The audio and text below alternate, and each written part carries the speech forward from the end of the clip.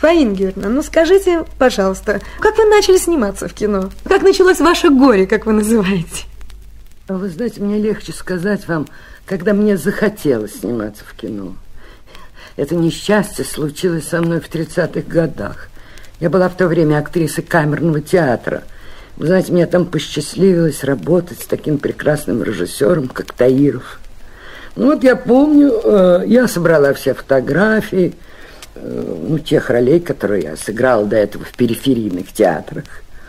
Вот, и отправила множество этих снимков на Мосфильм.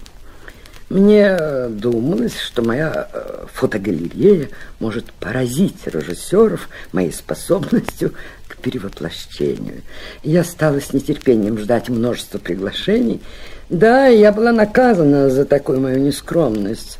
Мой приятель, э, актер, который в то время снимался в кино, чем вызывал во мне чувство черной зависти, вернул мне мои снимки, сказав, это никому не нужно, так просили вам передать. Ну что ж, я подумала, переживу я это, но перестала ходить в кино и возненавидела всех кинодеятелей. Но, ну вот однажды ко мне подошел приветливый молодой человек, сказав, что он видел меня в спектакле камерного театра в пьесе патетическая соната. После чего он загорелся желанием снимать меня во что бы то ни стало.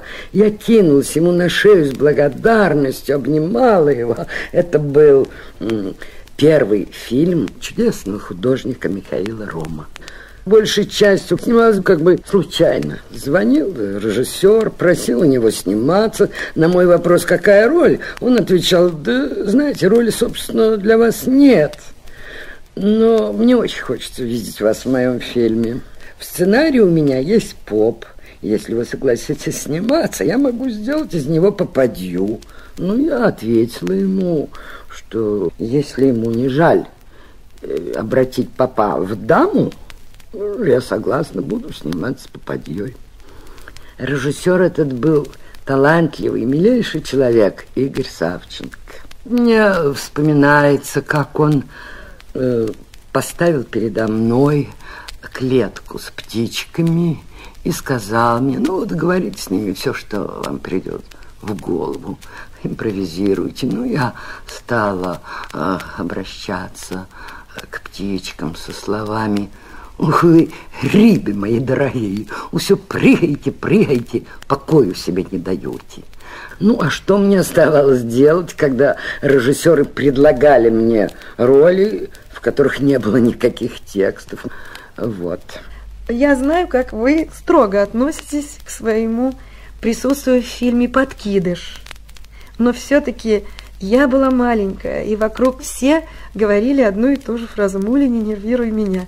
Ради бога, извините, что я задаю вам этот вопрос, но скажите немножко об этой своей работе. Ну, зачем вы мне напоминаете о таких неприятных вещах?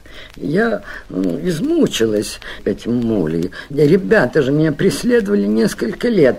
Вы знаете, во время съемок на улице нас преследовала огромная толпа зевак. Ну, это меня, знаете, меня очень смущало. И у меня было такое чувство, что будто я моюсь в бане, куда пришла экскурсия. Представляете мое ощущение?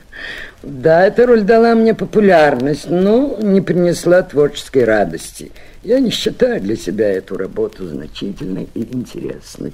Э, я могла бы сделать гораздо больше, но, к моему огорчению, я редко была в поле зрения сценаристов и режиссеров. А вот зрители этого не понимают так как во множестве писем они просят меня появляться чаще в новых фильмах, что они скучают по мне, и чтобы я больше снималась. Точно это от меня зависит.